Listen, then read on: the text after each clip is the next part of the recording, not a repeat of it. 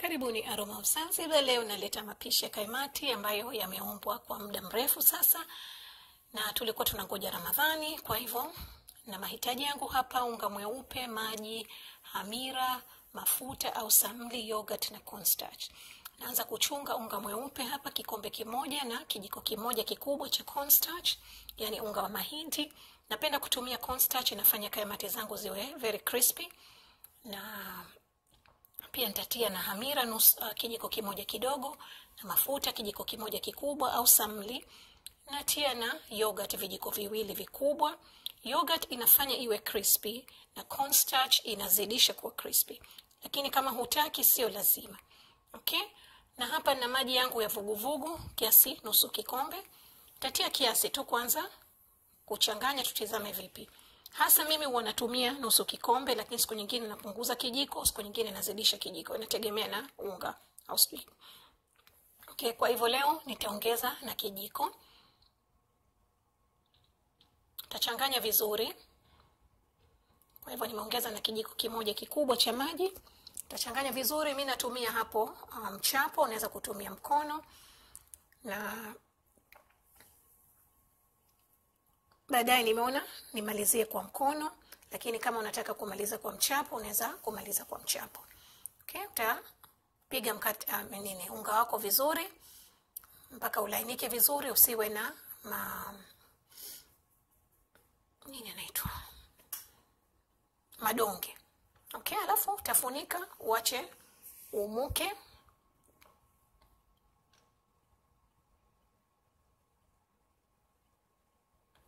Okay, sasa hivi tunaanza na shira.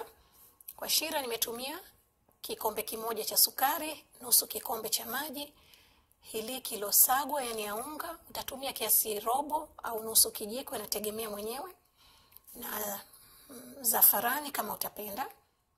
Taache chemke kiasi dakika tano hivi au saba, yani isiwe nzito, iwe maji maji. Na hivi mimi ndo natizama kama shira yangu tayari lakini tahadhari, moto usijiunguze. Naigusa kama hivi, inakuwa inanata nata hivi, na kama utatumia thermometer ni mia na themanini Fahrenheit au sabini na tano centigrade, isizidi ya hapo. Okay, unga wangu tayari na nimetumia amini, umechukua nusu saa. Kwa vile nilikuwa nimepika shira, jiko langu lilikuwa limoto moto, kwa hivyo uta utauchanganya vizuri tena kidogo. kwa unataka kuupiga unaweza ukaupiga tena. Na hapa leo natumia maji na natumia mafuta. Kuna aina mbili, ziko aina nyingi za kuchoma kaimati, lakini aina hizi mbili ndo zinatumika sana kwetu sisi Waswahili.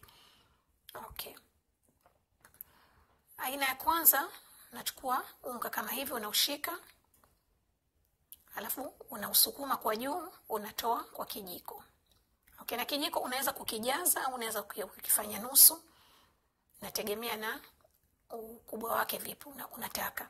Kwa hivyo mimi natia kijiko changu kwenye mafuta. Hasa zamani tulikuwa tukitia kwenye maji, wengi bado wanatia kwenye maji, lakini mimi napenda kutia kwa mafuta kwa sababu nikitia maji, kijiko nikikitia kwenye mafuta, mafuta yanaruka, yananyunguza. Kwa hivyo nimeamua kutumia mafuta.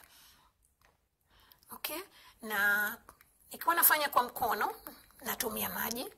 Okay, nachukua unga kama hivyo unautia kwenye mkono kama vile unato, unafanya tonge, unataka kula tonge la, la wali au la ugali okay. Alafu unausukuma kwa kidole cha gumba.